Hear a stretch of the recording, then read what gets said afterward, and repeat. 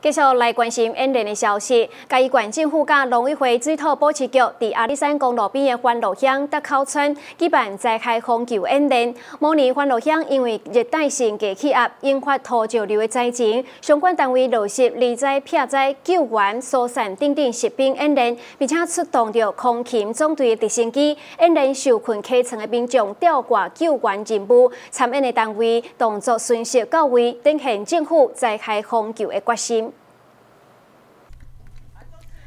今年的在开风球演习，针对学内土石流在开浅色区域，以及近年来实际发生的情形，模拟欢乐乡因为热带性低气压可能引起土石流灾开为想定的情况，以落实离灾避灾政策，加强民众配合以及提升疏散收容安置各项作为，并且着重以疏散撤离以及建立优质的收容安置机制，加环境考验管护，包括警消。建设民政、社会、卫生相关单位，以及乡公所、公民营事业、民间志工团体等无共救灾能量甲资源，伫面临灾害发生的时，如何有效展现指挥抢救应变能力，共同做好减灾、整备、应变以及复原等各阶段的灾害防救工作。那这次的演习的重点，除了相关紧急的抢救演练以外，更重要的是要落实离灾。避灾的政策，让我们的民众实际参与整个疏散撤离以及收容安置的各项流程。那我想，台湾是一个多台风的地方，那台湾也是一个很多的山区，也有很多的警示跟土石流的地方。那这个已经变成台湾人基本的技能跟基本要去学习的东西，因为我们就是活在这样的一个空间里面。那中央。每一年都花很多的钱，也有很多的时间来做相关的演练。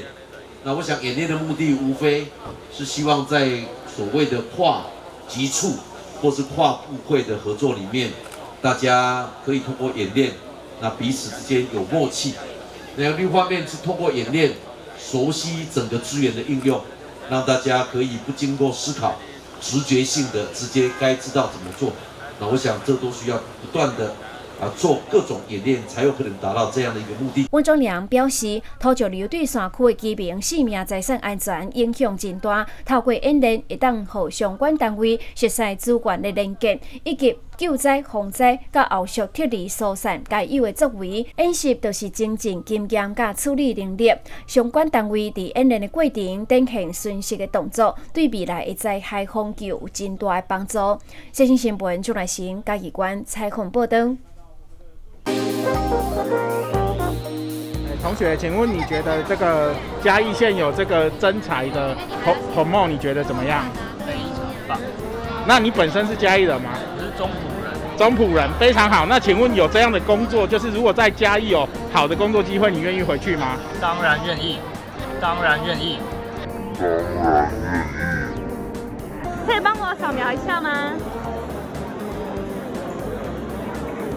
都是嘉义的工作。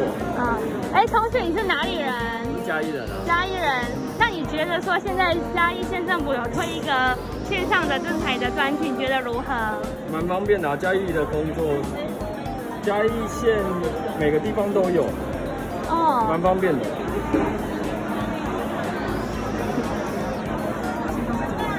谢谢同学。哎，同学，请问你是哪里人？我是嘉义的。嘉义人哦，好。那其实呃，我们现在有推出那个嘉义县的产业线上征才专区，你觉得如何？我觉得这样很棒啊，这样可以很容易找到工作。很容易找，OK。那你有想要找哪一类的工作吗？护理的。护理的。OK OK，好，那就祝你求职顺利哦。谢谢谢谢。